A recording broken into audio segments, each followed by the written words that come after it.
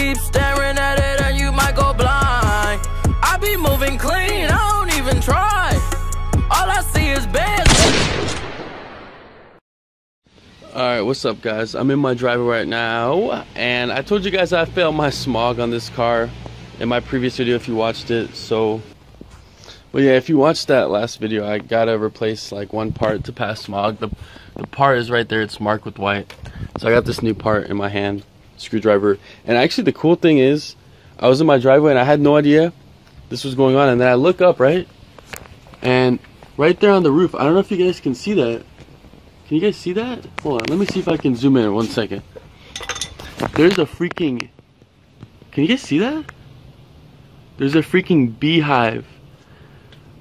Like, like they formed a freaking beehive right there.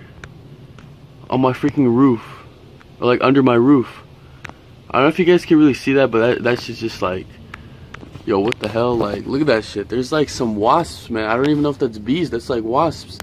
I'm just chilling here, man. Like, and that shit like didn't really freak me out but it was just like whoa what the hell i didn't expect that but anyways i'm just giving you guys a quick update thank you guys so much for 2000 subscribers we're going to be doing the giveaway soon let me fix up this car real quick and we'll try to do a live stream later today at some point love you guys thanks for the support i'll see you guys soon Keep staring at it and you might go blind. I be moving clean, I don't even try. All I see is bands.